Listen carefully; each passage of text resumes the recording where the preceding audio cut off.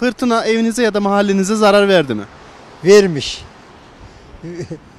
Eve vermedi de komşularınkine verdi. Yok çok şükür. Verdiyse de bilmiyorum oğlum.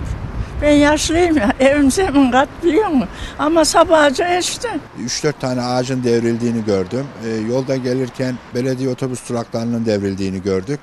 Dün geldik ama bayağı bir çerçeveler falan düşecek diye yani uyuyamadım ben. Çok hızlı bir şey var. Arkadaşların oturduğu mahallelerde işte Mimsin taraflarında filan bayağı hasarlı olmuştu. Balkondaki dolapları filan düşmüş yani bu haberleri aldık sabah. Dün akşam sularında evime giderken aracımın üstüne tabela düştü. Ve aracın içinde kaldım. Ortalama yarım saat kadar mahsur kaldım. Ee, tabelanın e, yaklaşık bir saat kadar vinç bekledim kalkması için. Vinç geldi kaldırdık. Ee, aracıma ortalama 1,5-2 bin TL değerinde zarar verdi. Oradan sonra evime geçtim ve evimde elektrikler ortalama hiçbir yerde elektrik yoktu yani.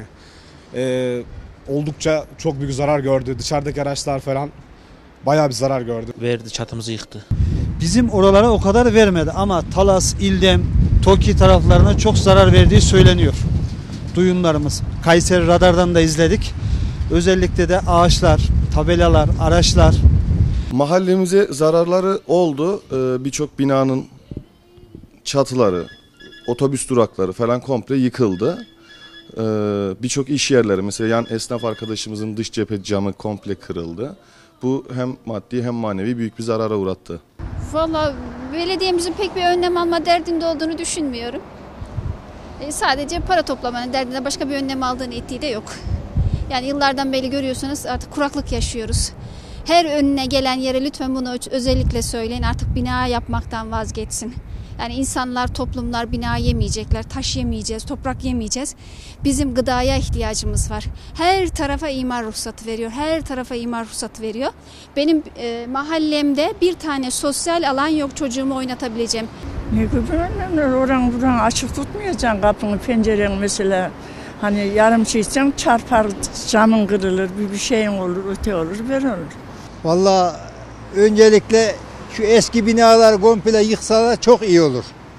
Çünkü Allah vermesin bir ufak bir be- beşin üzerinde bir deprem olsa ne Fevzi Çakmak kalır, ne Kılıcaslan kalır, ne eski mahalleler kalır. Ee, Doğal afet olarak kabul ediyoruz biz bunu.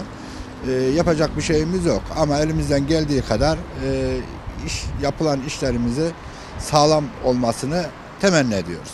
Valla yüksek binada olduğumuz için ben biraz yüksek binalara karşıyım. Çatısı karşı binanın göçtü birden attı üstündeki şeyleri. Yani bu kadar yüksek olması bence korkutucu. Ee, yani yapı denetimleri filan biraz daha arttırılabilir belediye tarafından olsun. Bu önlemler daha da arttırılabilir. Yani yapılar kontrol edilebilir yani. Sağlamlaştırılabilir binalar veyahut da bunun için baz istasyonları kurulabilir. Önceden haberdar olabiliriz. Yani birçok şey yapılabilir bununla ilgili ama hani akla gelen ilk şey e, insanların hani birbirine duyarlı davranması gerekiyor bence bu konuyla ilgili. Çünkü herkes kendi canının derdine düşüyor, başkasını unutuyor ve başkasına sıkıntı yaşatıyor. Vallahi vatandaş olarak bizim alacağımız önlem yok ama müteahhitlerin bu konuda biraz daha hassas davranması, yaptıkları binaları daha sağlam yapıp eee, insanlara daha güvenilir evler teslim etmeleri lazım diye düşünüyorum. duadan başka bir şey yapamazsın arkadaş. Yani afat. Allah'tan gelen bir şey. Önüne geçemezsin. Elinden geldiği kadar tabii tedbirli olmak lazım ama Allah herkesin yardımcısı olsun. Yapım yani yeni bina yapımında ve yeni iş yeri yapımında daha sağlam temeller ve daha sağlam e, malzemeler kullanılarak önlem önlemler alınabilir. Allah esirgesin Elazığ'daki olan e, deprem Türkiye'yi komple üzüntüye boğdu. Bu olaylar Kayseri'de yaşanabilir. Bunun için e, temellerin ve kullanılan malzemelerin daha sağlam olması bence yani doğal afetleri biraz daha önleyici olabilir.